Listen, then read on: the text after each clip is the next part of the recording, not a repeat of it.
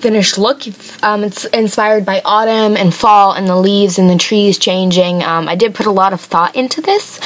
So I hope you guys enjoyed the tutorial. And if you want to learn how to do this look, just keep watching. Okay guys, so this is my bare eyes. I do have foundation on right now. Um, but I'm going to prime my eyes with Urban Decay's Primer Potion. You guys know I love this. Um, and just spreading that all over my lids to help my eyeshadows last longer and look a bit more vibrant than they would without it.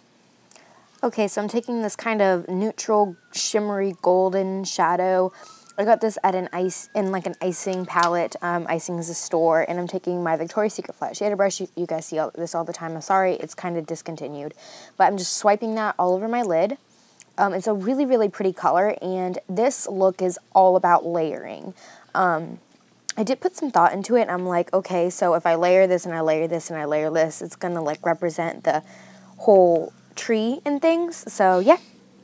Okay, now I'm taking uh, Toasted from my Naked palette and just swiping this on top of the icing shadow. Those don't, those unfortunately don't have names. It really annoys me when they don't.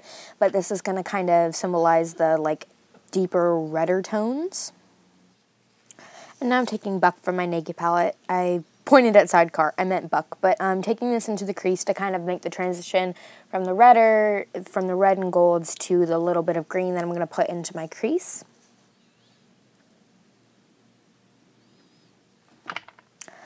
And um, now I'm taking this really gorgeous green color. I love this color. I um, just adore it. And it's from the same icing palette. And just taking that into my crease over where I put, put buck. I don't really I think this really reminds me of like evergreen trees and Christmas time, but it like ties this whole look together and makes it look very fall.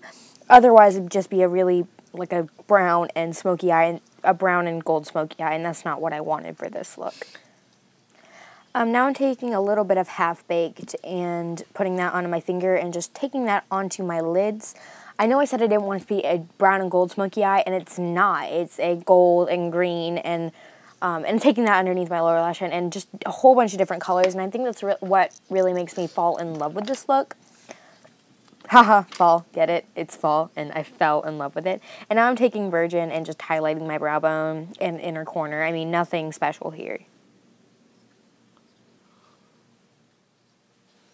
Okay, so now I'm taking this like really gorgeous ambery copper color and taking that and working that into my outer V to give my eye a bit more definition and a bit more shape.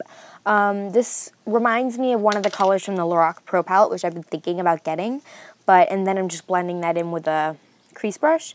So I just think this color really makes the whole look just a look a bit more smoky and a bit more intense, which is what I really love about fall looks is because they're very smoky, but they're not glittery like a holiday look. And then taking the same shadow underneath my lower lash line.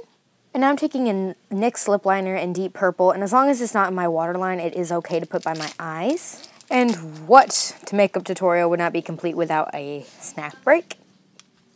And now I'm taking Maybelline Baby Lips in Grapevine and just putting that on my lips to give my lips kind of a plum look to it. Ignore my dogs in the background. And you could use this as blush if you wanted to, but you don't have to. And I'm taking a little bit of face powder and just touching up my foundation. Um, this is Revlon Colorstay face powder. I'm just trying to use it up, but um, I'm just touching up my face because I looked a bit shiny.